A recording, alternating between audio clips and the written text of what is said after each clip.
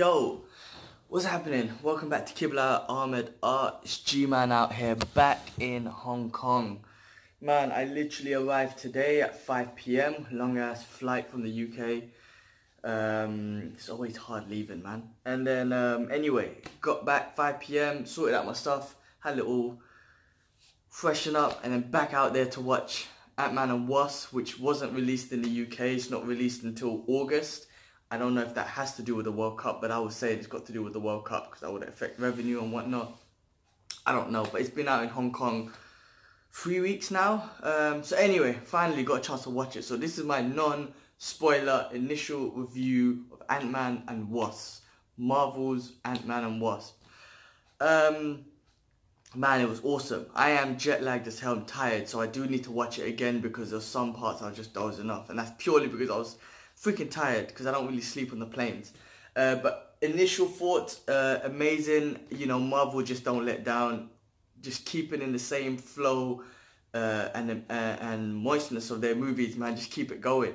Um, you know, obviously the hype of Avengers that came out in May. You know, it, it, it feeds onto this movie. But the thing is, Ant-Man and the Marvel's so great. They built these characters, Ant-Man, and obviously introducing the Wasp they're giving them their own motive in these movies for them, you know, to hold this own standalone movie. You got the side characters like Michael Pena, who's fucking hilarious, and he makes the movie. Without him, honestly, the, these movies without these side characters are, you know, Marvel's so great at building individual characters that you have to have all of them in the movie. So the movie holds its own. You know, it has its own agenda, has its own purpose and motive. However, it also has its relationship with the MCU and you know that relationship with the MCU. Um, so it's amazing, you know. It's not reliant on all the other characters, uh, the MCU universe and whatnot, and what happens in this and that. It's not reliant on that. However, it's involved, but it can bloody hold its own. This movie was jokes. Um, like I said, it's not. Uh, it's a non-spoiler review, so I can't say nothing. But again, it holds its own motive. The story um, holds holds its ground, and uh, shit, I can't say that. I was about to spoil something. Anyway, great story. Um, great characters. Again, just fun action. You know, introducing the Wasp, introducing um, more of, of Giant Man.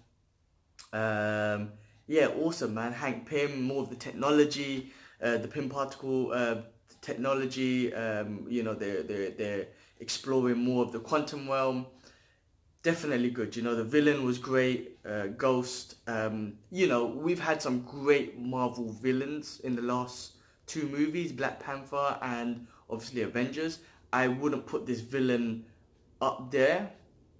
Um, you know, because Marvel's villains for me haven't always been the best. But, you know, it's still a great villain, but not up there with comparing to Killmonger and Thanos. Uh, they had different motives, and I think those movies uh, had a different sort of vibe and, and, and meaningful something it's different you know what I mean?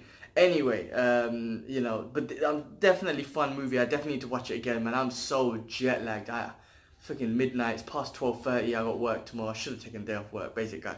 Anyway hopefully I can sleep the whole night but that's why I need to watch it again because I am a bit tired and whatnot I need to go back and pick up a few things.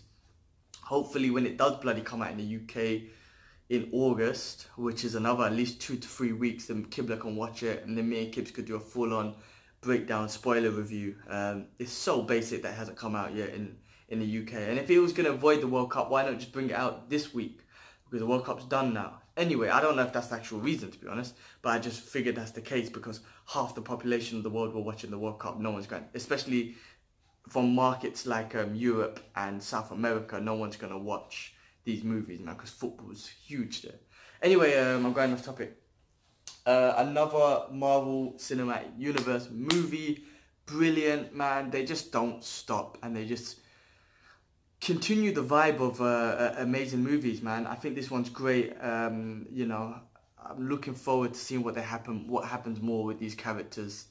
Uh, Ant-Man and Wasp and, you know, Goliath and stuff like that. So you see all these things in the trailer.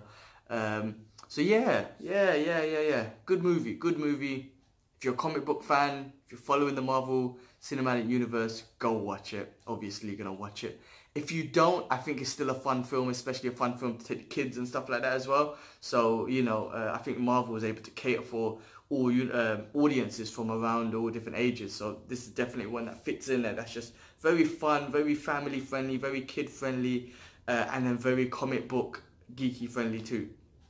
So yeah, that's my initial review, non-spoiler review of Ant-Man and Wasp. Uh, thanks guys for watching. I need to hit the bed. I'm bloody tired. Um, but yeah, guys, thank you for watching. Thank you for subscribing and everything. And um, you know, watch out, keep out for the videos, man. You know, uh, brothers podcasts, movie reviews that we're just doing now. Toe to toe, done a couple with Kibs while I was in the UK. Oh, more to come, more to come, guys. Um, anyway, I'm going to sleep. This is G-Man out in Hong Kong again. That was Ant-Man and Wasp non-spoiler review. Peace.